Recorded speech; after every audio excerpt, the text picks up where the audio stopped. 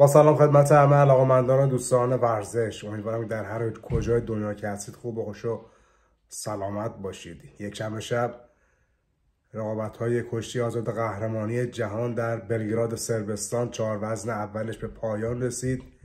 ایران در سه وزن فینالیست داشت که در مهمترین مسابقه حسن یزدانی یکی از کشتیگیران پر افتخار تیم ملی کشتی آزاد ایران دوباره مغلوب رقیب دیرینش دیوید تیلور امریکایی شد. مسابقه ای که از همون اولش هم تیلور برای برد اومده بود و مشخص بود که کاملا به نقاط ضعف قوت حسن یزدانی آشناس و به راحتی هرچه تمامتر با گرفتن نه امتیاز اسد حسن یزدانی گذشت. برای من جالب بود که حسن یزدانی که سال گذشتن باخته بود و نتونسته بود این کشتیگیر ببره نرفته بود. یعنی تو این یک ساله من نمی‌دونم چی کار داشت می‌کرد که بره و نقاط ضعف و قوت این کشتیگیر رو رقیب دینش آنالیز بکنه.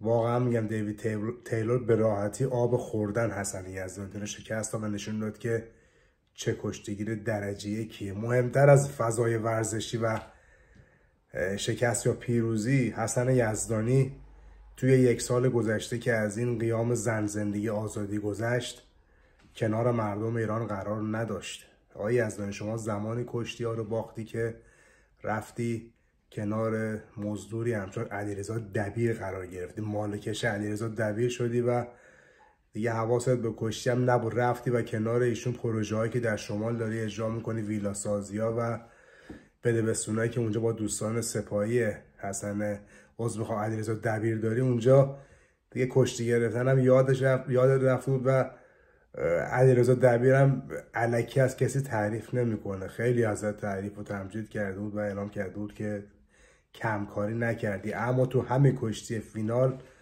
مشخص شد که هیچ طرح برنامه واسه رقابت با دیوید تیلور امریکایی نداشتی. واقعا به راحتی آب خوردن شکست خوردی. من فکر کنم 20 صفحه دیگه با این کشتیگیر کشتی بگیری عین 20 بارش رو میبازی. برای مردم ایران مهمتر از فضای ورزشی به بحث برد و باخت اون منش و رفتار پهلوانیه که به نظر من حسن یزدانی تو این یک ساله نمره قبولی نگرفت.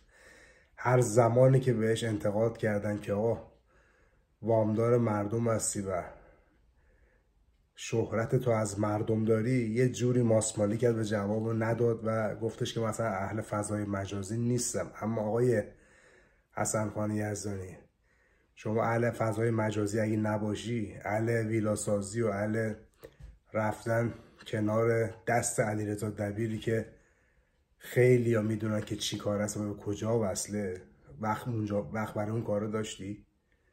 یه لحظه برو با خودت خلوت کن ببین چی کار کردی. با دیوید تیلور امریکایی که کشتی بسیار بچگانه گرفتی و باختی. تو مسابقه ورزشی که باختی.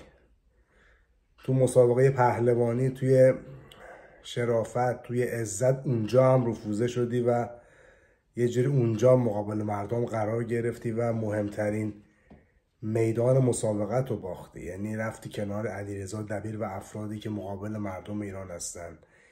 یک خط یک کلمه یک نکته از محسا امینی و قیام زن زندگی آزادی.